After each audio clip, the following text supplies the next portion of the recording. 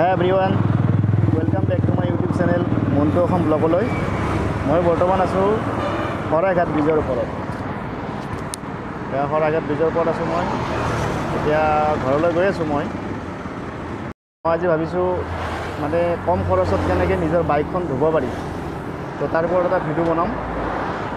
মানে বহুতে আপোনাৰ ৱাছ চেণ্টাৰত নিজৰ বাইকখন ধুৱে পইচা খৰচ কৰি বাইকখন তো কম খৰচত নিজৰ ঘৰতে আপুনি কেনেকৈ নিজৰ বাইকখন ধুব পাৰে সেইটো মই ধুনীয়াকৈ দেখাম।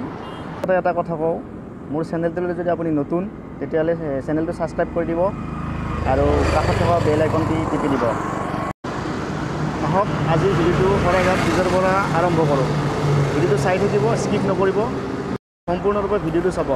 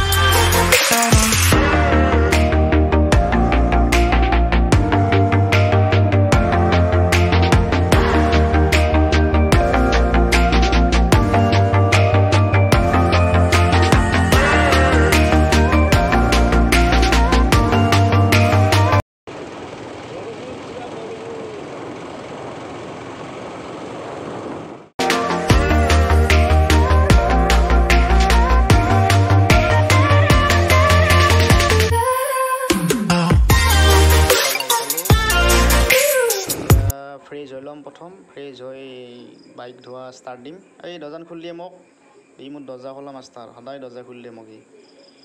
দহ টকা এটা দিম দে তোক।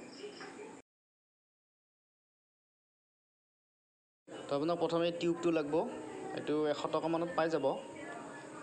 সেইটো বজাৰত পাব টিউবটো তাৰপিছত আপুনি এনেকৈ ধুনীয়াকৈ পাইপডালত গাঁঠাই ল'ব একদম মজবুতকৈ গুণা দি গাঁঠি ল'ব লাগিব।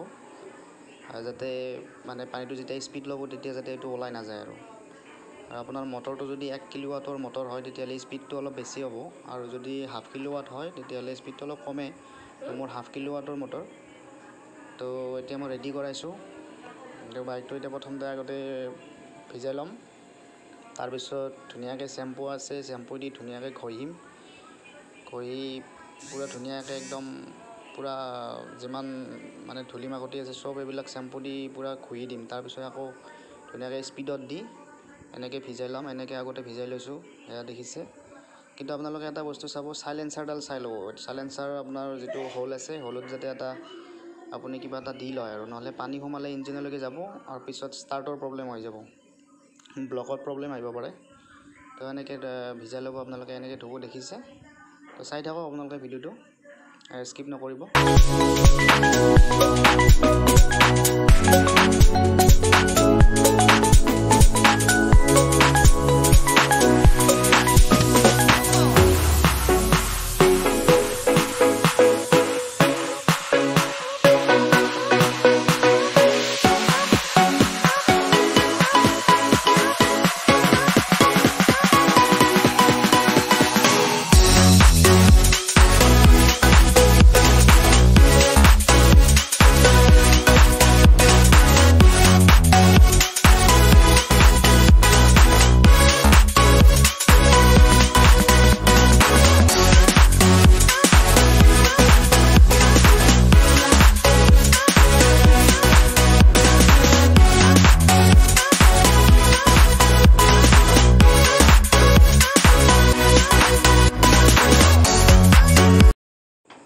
এক পেকেট চেম্পু পানীত গুলি ল'লে হ'ল।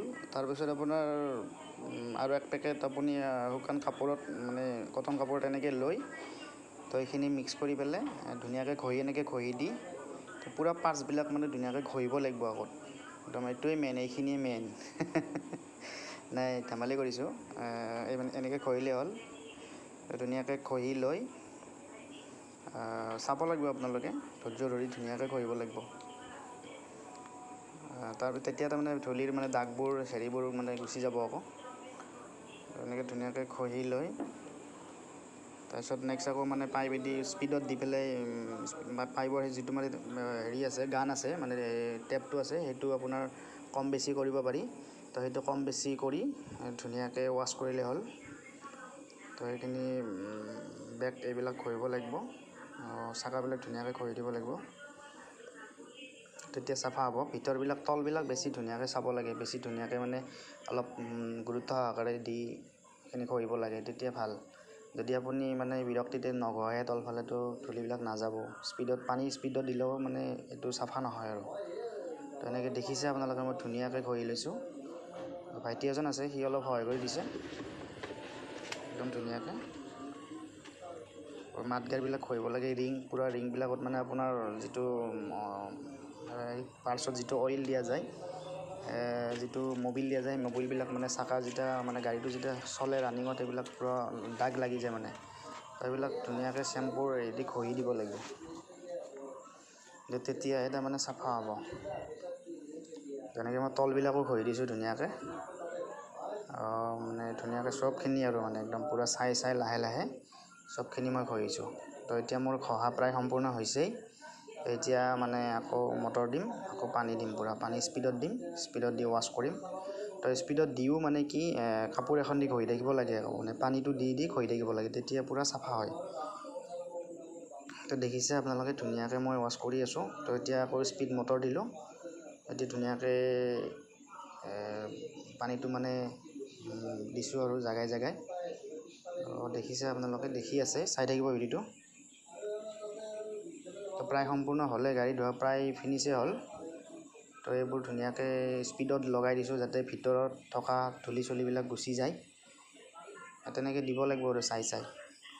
আৰু ইয়াত ভয় কৰিব লগা একো নাই মানে অলপ সাৱধান হ'লে হ'ল আৰু তাঁৰবিলাক যাতে মানে আপোনাৰ হেৰি নাযায় মানে জইনৰ পৰা যাতে খুলি নাযায় সেইখিনি চাব লাগে। আৰু এনেও নাযায় আপোনাৰ য়ামাহাটো মই ভালেই পাইছোঁ ভাল গাড়ী এইটো ইমান প্ৰব্লেম নহয়। প্ৰব্লেম আজিলৈকে পোৱাই নাই। এতিয়া প্ৰায় সম্পূৰ্ণ হৈ গ'ল। গাড়ী ধোৱা চেচে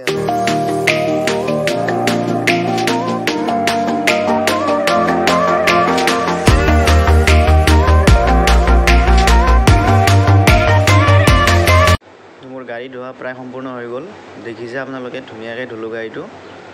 তো পূৰা ধুনীয়াকৈ চিকচিকীয়াকৈ ধুলোঁ একদম চাফা হৈছে। তো আপোনালোকেও নিজৰ নিজৰ বাইকবোৰ তেনেকৈ ধুব পাৰে। ধন্যবাদ থাকিল সকলোলৈ মোৰ ভিডিঅ'টো চোৱাৰ বাবে। আগলৈ এনেকুৱা ভিডিঅ' দিবলৈ চেষ্টা কৰিম।